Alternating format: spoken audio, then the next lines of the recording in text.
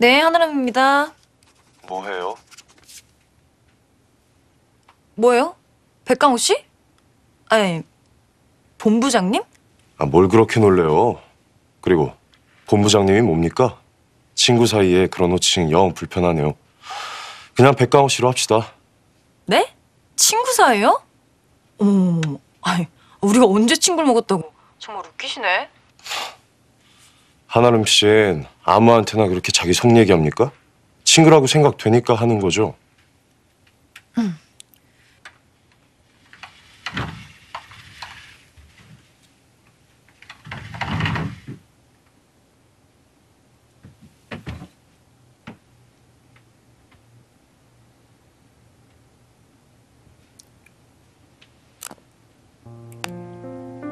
전 본부장님이랑 친구 먹을 생각 전혀 없고요.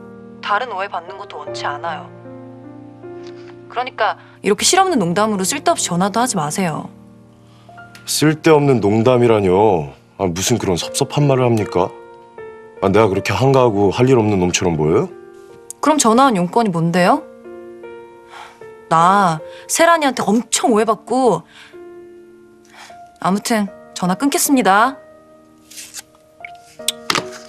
여보세요? 여보세요? 하, 이 여자 되게 튕기네. 할 얘기가 있었는데.